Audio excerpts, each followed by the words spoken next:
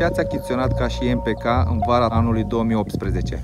Am folosit uh, Timac uh, 34 Euro Cereal.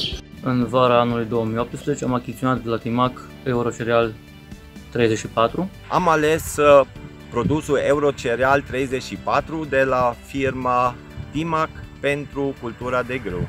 De la Timac Eurocereal 34.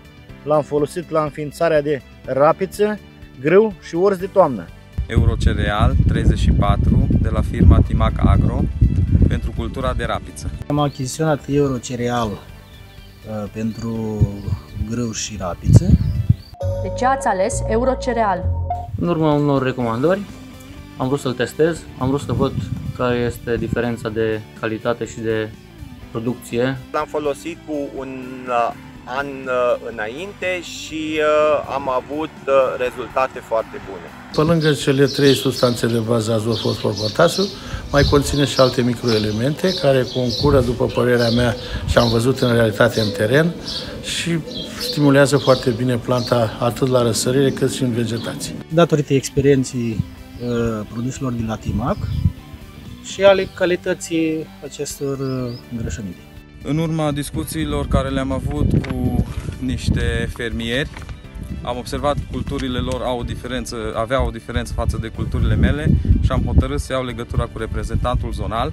M-am consultat cu inginerul Popa Bogdan de la Plantagro și am căzut de acord împreună să folosesc Timac pentru că este un îngrășământ foarte bun. Cât de mulțumit sunteți de stadiul culturii azi?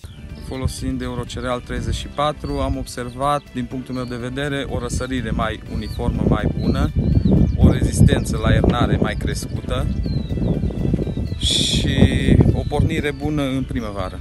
Sunt foarte mulțumit de stadiul culturilor la ora actuală. Cu toate utopiile care au fost anul agricol 2018-2019,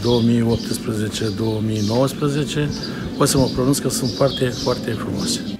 Sunt foarte mulțumit de rezultatele de la Timac. Mulțumit de cultură, având în vedere că a fost un an foarte dificil din, din prisma precipitațiilor. Nu au fost destule ploi în toamnă, a răsărit greu, abia în iarnă a răsărit, nu au fost ploi în primăvară, s-a dezvoltat încet. Sunt mulțumit uh, de stadiul plantei și sperăm la o producție mai ridicată.